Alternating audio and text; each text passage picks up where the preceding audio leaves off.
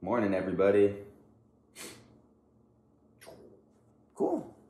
Day 16. Here we go. Um, next two days, uh, we're going to continue just talking about these ideas of um, STER. Uh, so, a lot more practice time, just for your information. But let's just play a little game, you know, across the Zoom session. I think it's very important, as I've noted, to try and put these four words to memory, just because, again, as the, you know, as, you know, you spend more time practicing over the course of this challenge, but also hopefully over the course of your life, and you're spending more time in this environment, these four concepts will arise and the importance the importance of entering flow state i don't think is stated um, through many through a lot of different meditative lineages but the discovery of flow the analysis of flow is proving that the transformative nature of this thing that you're you enjoy or that you're curious of that i enjoy that i'm curious of that many people are sort of working towards it depends entirely on entering that state. Uh, so I suppose the, the core lesson is that all sits are not equal. Um, all meditators, you know, aren't aren't really doing the same thing. And if we are looking for change, which is not which is not uh, an attribute of mindfulness. Again, it's an attribute of people seeking flow state. Um, but a lot of people that enter mindfulness or enter meditation are also looking for change. If you are looking for change, change in the personality, change in change in the way you conduct yourself, change in your productivity levels, change in your presence levels, uh, understanding STERs is critical. So, S, just in your own head, what is S? Selflessness. So when you're meditating, just like yesterday, when you're meditating, it's it's valuable to start recognizing the the absence of of self-talk, the absence of um, self-centered ruminations, the disconcern with the self. And so what this might feel like is you're sitting there and you're just very into the sound of the bird chirping outside the window. You're very into the feeling of the carpet underneath your body shifting yourself, right? That actual choice of shifting into things that are not necessarily you. Even the weight or pressure of your hands on your laps. And while it's your body, it's not sort of you in the form of the identity. That willingness to shift the thought um, into non self is, is important. So, S, selflessness. T, what is T? Timelessness. And so back to sort of um, the concept of, of right effort, all that that all that that branch of Buddhism is expressing is that we, at a certain point in our maturity, we have to start really um, managing our minds and being concerned with our minds. The same way, at least for me, my teens, very dirty room, very messy room, and then eventually you grow up, you're like, okay, you know, it's, it's fun to have dirty clothes everywhere, uh, but now it's less fun let me let me extend my my intention to clean my room. And now you know in general i feel as adults rooms are clean homes are clean because we understand that that's part of our you know part of our duty uh, as mature human beings. Eventually that same concern emerges for the mind and this is what's meant by right effort. And why i'm saying this is it's always just about shifting shifting intention shifting energy and so if you're sitting there and you are worried about time, worried about how many minutes are left, worried about how many minutes you've been meditating, if that's a pattern in your practice, you have to start concerning yourself and assuming responsibility over these thoughts, these neural pathways, and saying, no, I'm not going to worry about time. You have to have that counter thought. I'm going to come back to my breath. I'm just going to choose to not think about that time, that time factor. So T is timelessness. And that little pivoting, that constant little pivoting away from how many seconds are left, how many minutes are left, how many breaths are left is very important. So again, timelessness. E, effortlessness. It is very, very easy. Allow yourself to understand that that it's easy. I've gotten a lot of uh, emails about sharing with me that it's not easy, that some of you are finding it very difficult to be mindful. And as I've expressed, it's just your expectations. It's just your, your, your clinging to something that is not arising now. So if this is proving to be difficult, you have to acknowledge maybe the beginning of your work today. Uh, you have to solidify what is it that you're expecting from the present moment because it's that expectation. Maybe it's peace. Maybe it's pure thoughtlessness. Um, what are you expecting from the present moment that is not arising now? That is a thought. And once you recognize that thought, instead of subconsciously sort of projecting it onto the moment and then being sort of disappointed with the moment because it doesn't have this subconscious aspect that you're wishing for, um, that will that will help you. And then you will realize mindfulness is just about sitting down with what arises, as, as has been shared. And that if I can do that deeply and not think about time while I'm just sitting down, and not think about myself or my subconscious expectations while just sitting down, then I will also enter flow. And that is a powerful space. The last is E, effortlessness, and then R, richness. It is sweet. It is beautiful to sit down. It is enchanting to be here. There is, you know, if if this is the the aspect of STER that attracts you, um, mindfulness and meditation in general is a romance. It is a, a, a love affair um, with reality itself. And that you are sitting with one thing. You are sitting with the now. And so as a mindfulness practitioner, all meditators, but mindfulness, especially in, in the West, is really sort of coined this concept here and now, or the now. Um, you want to consider that's what, you know, that is, that is what you're building intimacy with. That the now, as dynamic as, as involved as it is, it is a thing to be adored and a thing that adores. You smile at it, it smiles at you. And when you start to appreciate, you know, just like I'm gonna go and hang out with my grandparents. I'm gonna go be with my my mom or my dad or my brother or my best friend. I'm going to feed that that relationship of love, and there's intrinsic joy in doing that. Um, in terms of your meditation practice, consider it the same thing. You are nurturing a relationship with a living thing, um, the now. And once the now becomes almost divinized in the mind, you're sitting with it as it presents itself, I think will become more satisfying. All these are concepts, right? But there are concepts that enrich our experience of mindfulness, and there are concepts that disrupt our experience of mindfulness. And so, again, STER are four concepts that once you understand, prove to be very um, powerful and add a lot of momentum to the progression of your ability.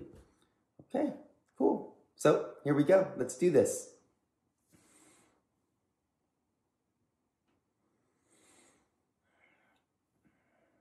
And so as you're getting ready, just to clarify the two different mindsets one more time, and hopefully what we can find is, is a harmony between these two sort of conflicting attitudes. Mindfulness does not disavow flow state. It does not disavow hyper focus, full absorption but it doesn't reach for it either. When it arises, it arises. When it dissolves, it dissolves. Flow or no flow, the moment, the now, the thing that the mindfulness practitioner adores is still there. Flow state study is different. Can I manage my mind with enough skill to consciously choose full absorption?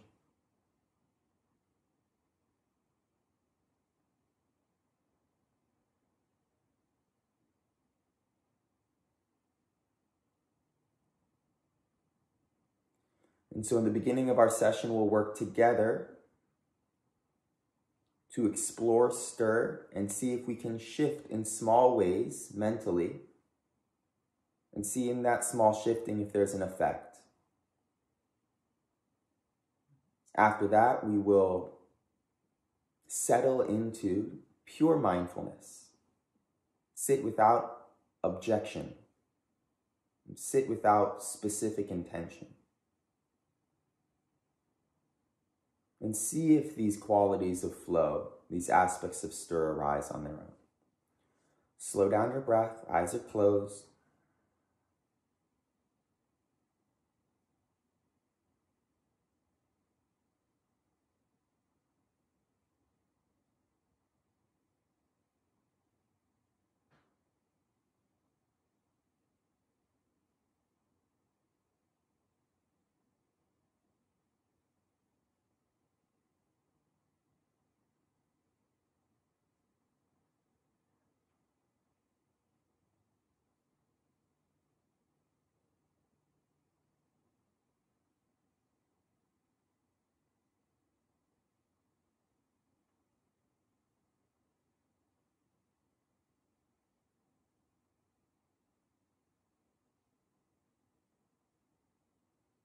Relax your face, relax your jaw, relax your shoulders, and again slow down the breath.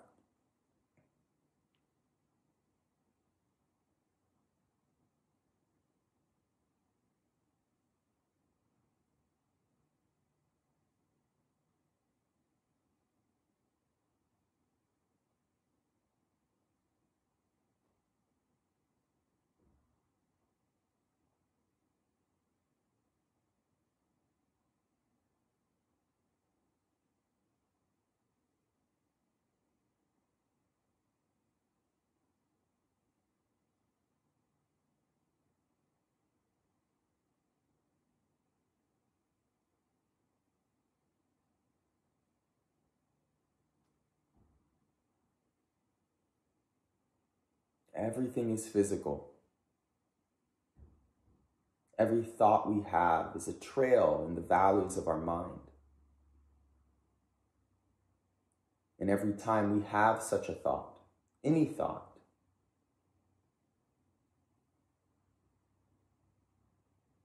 that trail is walked.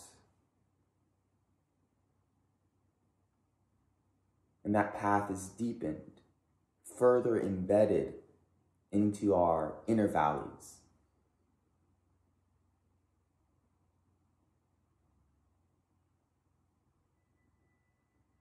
And so, right effort, the sixth,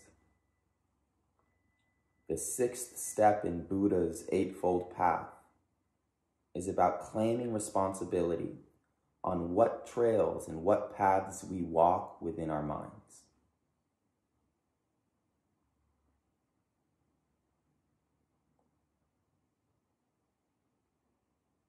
So, a little experiment right now in this breath. Choose to ignite the trail of happiness. Do you have that ability?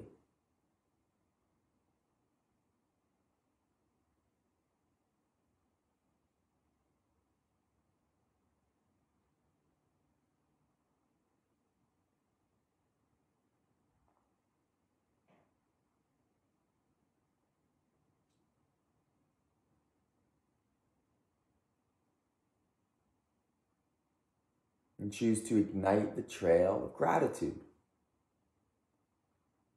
Do you have that ability? Can you feel a difference somewhere in your mind or body? The difference between gratitude and happiness.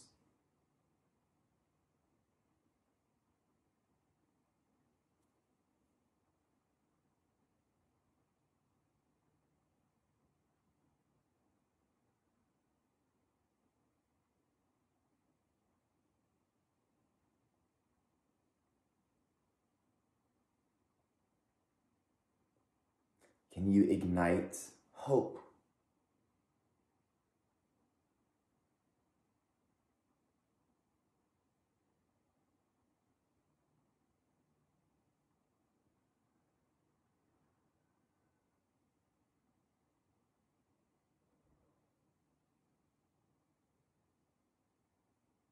And so, this is the reality of right effort. It is that willingness to make that internal choice and choose a better thought.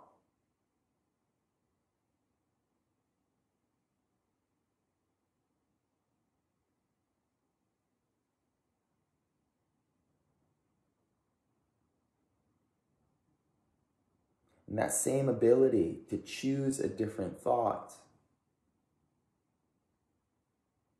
when utilized in the context of STER, more than likely will support our ability to enter flow more regularly. And in that, transform our neurology more consistently when we practice. Because again, all practices are not equal. All practitioners are not equal. It really matters what's happening inside. So take a second to think about yourself. Think about your life. Ride the wave of this natural negativity bias. We all have worries. We all have insecurities. We all have concerns. Just recognize one. It is also a flower in the mind. It is an also an experience within the now. You don't have to disavow. It's there.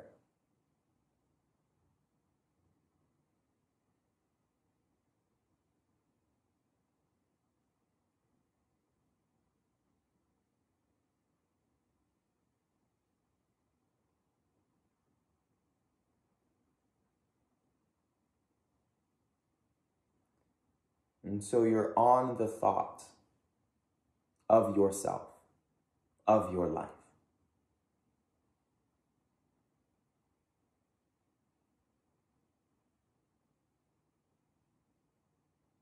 And now shift to a sound outside of you. Or feel neutrally a sensation on your body and understand that that shifting from a concern of your personal life to an observation of the now is selflessness.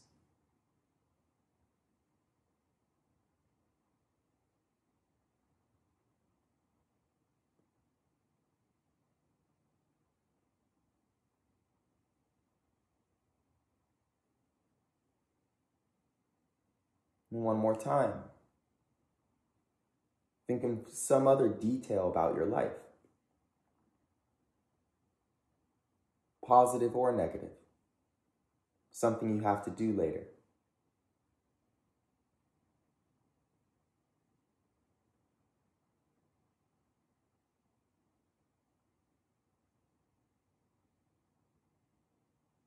And so this is a self centered thought, and it is hewing your moment feel that it is narrowing your bandwidth. Now shift again to an objective observation. It can be your body. It can certainly be anything around you.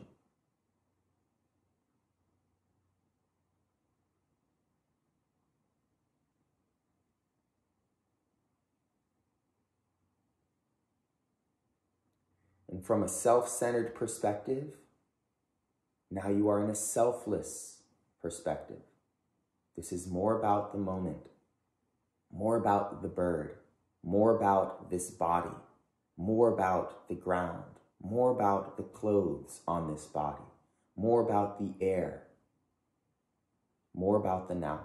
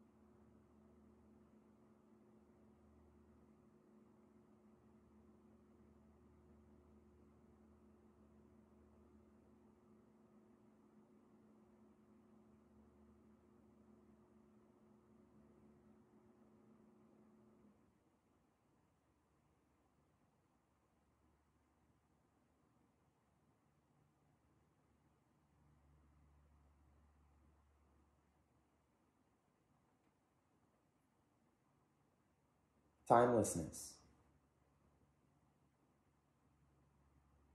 Entertain your impatience. Try to guess what time it is now.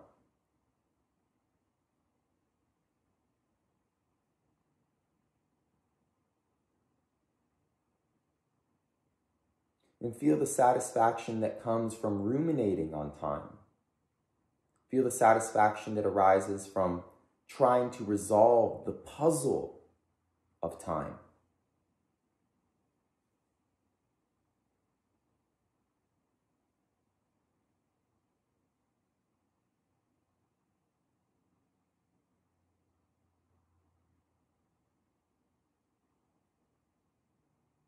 Our lives are now broken down to the minute. This wasn't always the case. Time was an invention.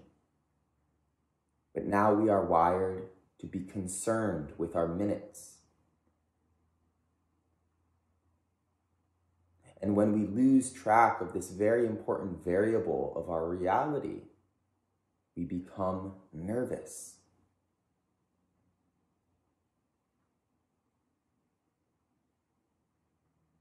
And so to think of time is to think of solutions to this nervousness, this unknowing. You can feel that as you think about time. Some part of the brain is stabilized.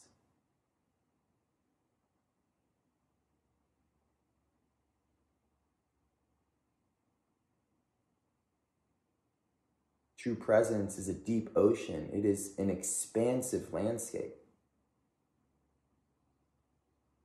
And so, from thinking of time in minutes, come back to objective observation.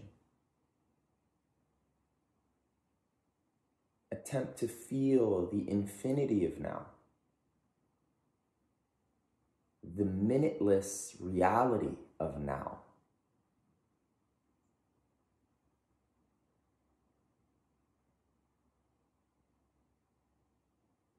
And that in your being, through your non doing, you have arrived.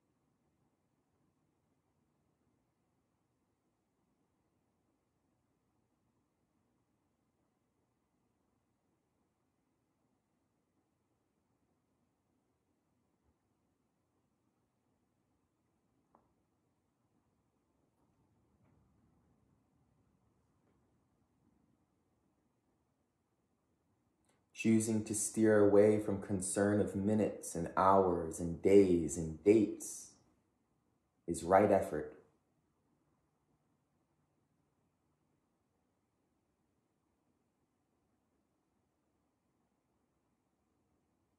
It is right to be in the timeless ocean of presence. It is right to not be concerned with ourselves or less concerned with ourselves especially while meditating. That is right.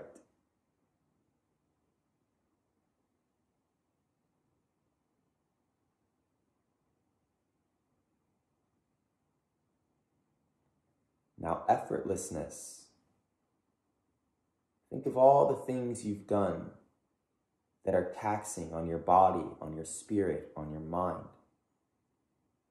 Think of the things you have to do just today that will involve a hustle, will involve a grind, will involve exhaustion.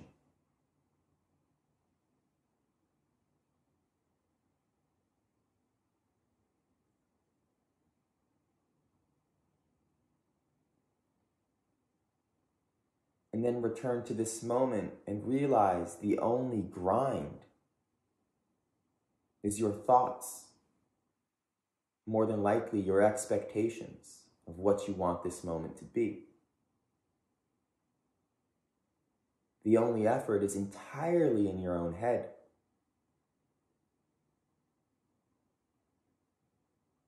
Slow down the breath. Allow yourself to just sit here, and you will find that mindfulness is the easiest thing in the world.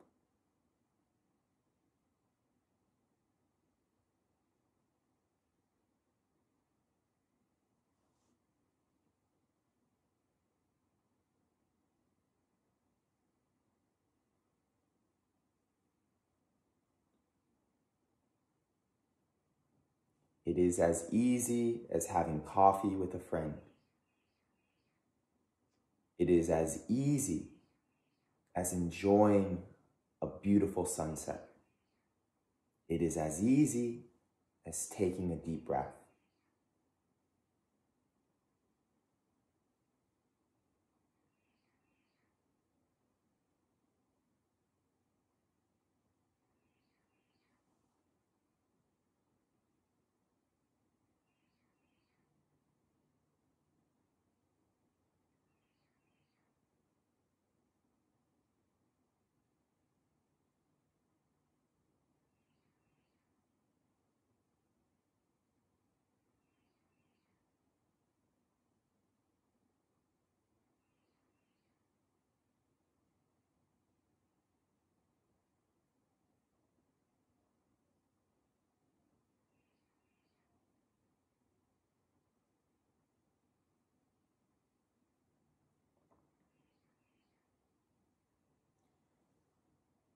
The final aspect of flow are richness. At this point, the familiar instructions strike the bell of joy. Ignite the trail of gratitude.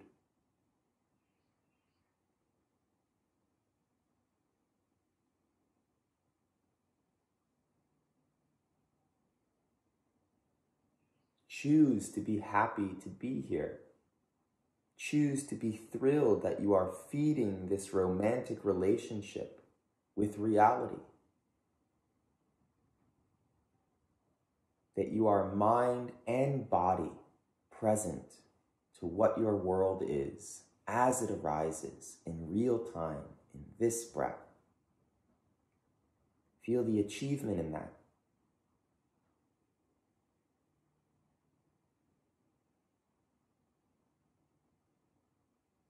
And while the rest of the world hustles for thoughts and for achievement and for duty, somehow you have found an open space in which you can feel achieved through pure being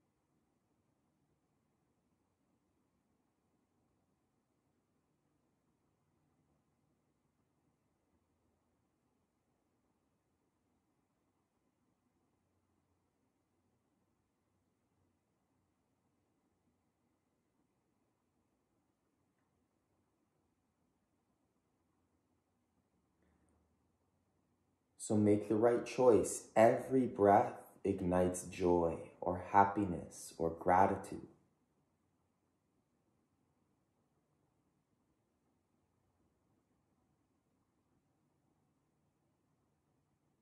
In that every breath is the practice itself.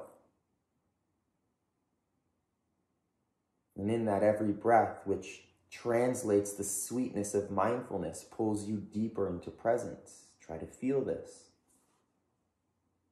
Three more breaths.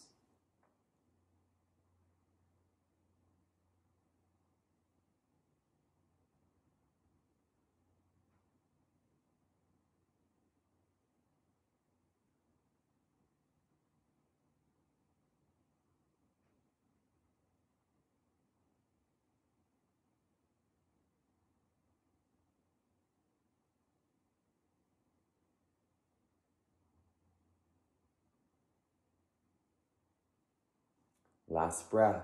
Slow down. Remember timelessness. Last breath. The day is coming. Stay with selflessness. Last breath. Duty is calling. Enjoy your final moment of effortlessness.